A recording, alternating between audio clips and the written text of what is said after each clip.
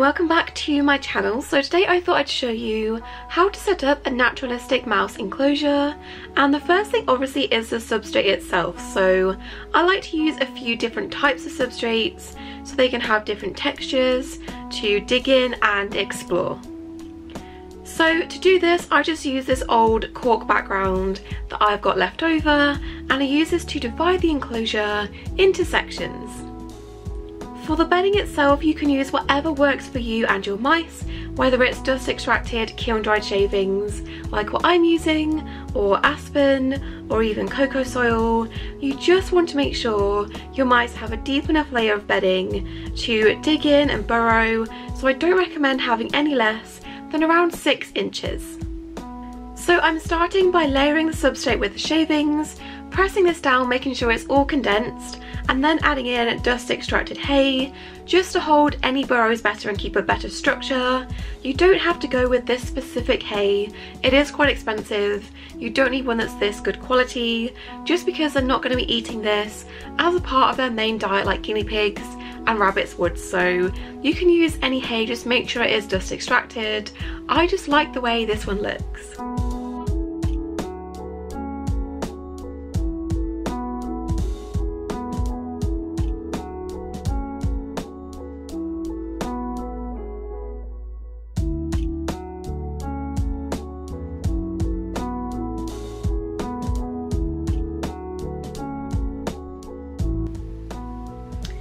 Then for the other side of the enclosure, I'm just using shredded cardboard bedding. This is a really safe, good option that's really respiratory system friendly. And then I'm also putting in a substrate box or a dig box that I bought recently. And this has just got cork granules inside.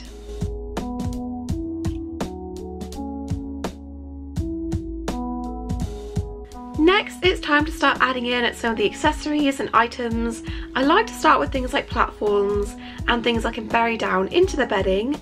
These not only act as a place to start adding other items on top to stop them sinking down and disappearing into the bedding, but they're also a place to sleep underneath the bedding and give them a place to hide and also encourage them to start making tunnels. A lot of these also look really nice pressed up against the glass of the enclosure. You can see your mice in there expressing their natural behaviours, thinking they're down there burrowed and hiding away and you can't see them. I will also pop in some paper bedding as nesting material just to give them a softer place to sleep. This is Fitch I believe, but I do sometimes use Kaytee Clean and Cozy.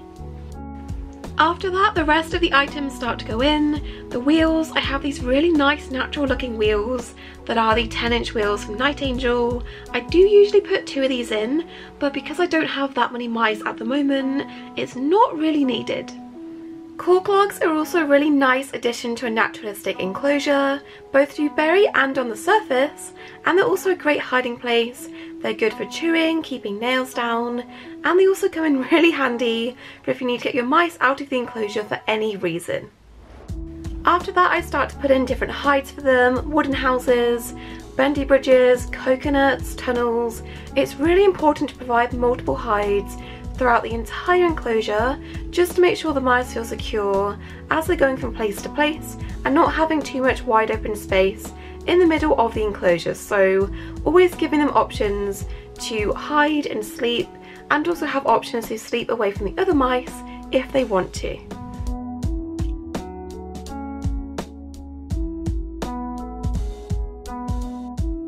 As it's currently summertime, I'm also putting in plenty of ceramic hides that stay a bit cooler, although I just like the way these look and usually have them in their enclosure year round anyway, so these are mostly either fish tank decorations or just pots from the garden centre.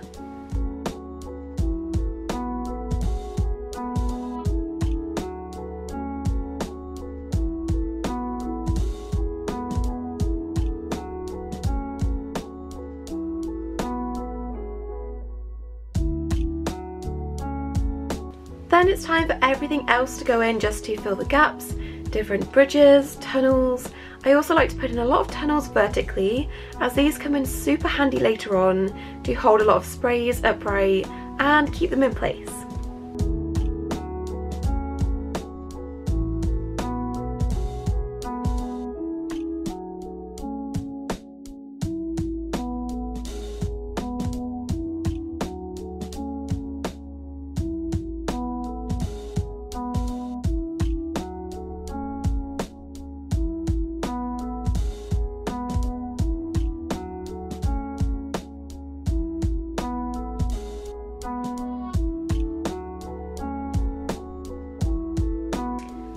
Also scattering in a few different types of chew toys for them, just around the enclosure, and very importantly, putting in some foraging toys too.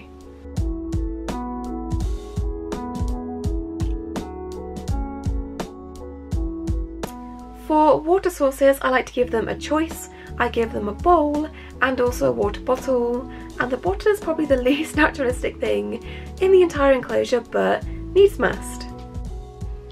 As for the accessories on the top of the cage attached to the mesh, I don't change these around too often because, to be honest, it's a bit of a pain to do, but they have a variety of different foraging toys, ropes, ladders, hammocks, hanging houses. You just want to provide your mice with plenty of climbing opportunities. At the top of the enclosure, I have had some mice that do prefer sleeping high up in hammocks or houses, so just making sure you're giving them plenty of options to choose where they want to be. Then to finish it off, I'm just adding in another layer of hay on top of everything. I love how this looks, but it also gives them more coverage and makes them feel a bit more secure. And they can also use this as nesting material.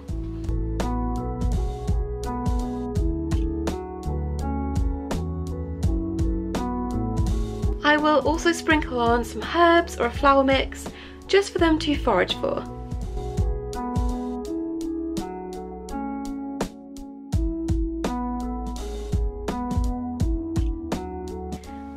Comes all of the sprays I place around the enclosure, again just for them to forage and find. I've got a variety of different types, some that come pre-packaged that I sell in my store, also some that I bought from NZ Paws website, so flax, different types of millet, quinoa, all sorts.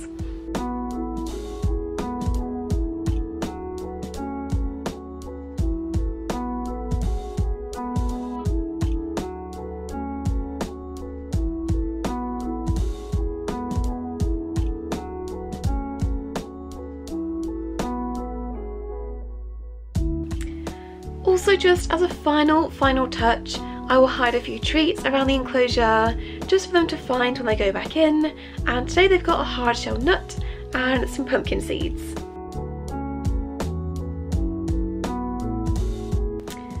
And that's it, that is their final enclosure. I hope this was helpful and maybe gave you some inspiration of how to make your mouse enclosure naturalistic. It's basically just about layering items based on what your mice need and their different behaviours. So my two neutered male mice, Sphinx and Griffin are going in and if you haven't seen on Instagram this week or on my channel post, I have had a rough week generally and when it comes to the pets and the mice. I have gone from having five mice down to just two due to tumours, old age and a sudden neurological issue so it's all happened very very quickly of course, it's not ideal to just have two mice. The dynamics of having three is much, much better, so I am working on sorting that as soon as possible, but it has just been such a week, and I'm down to just Sphinx and Griffin.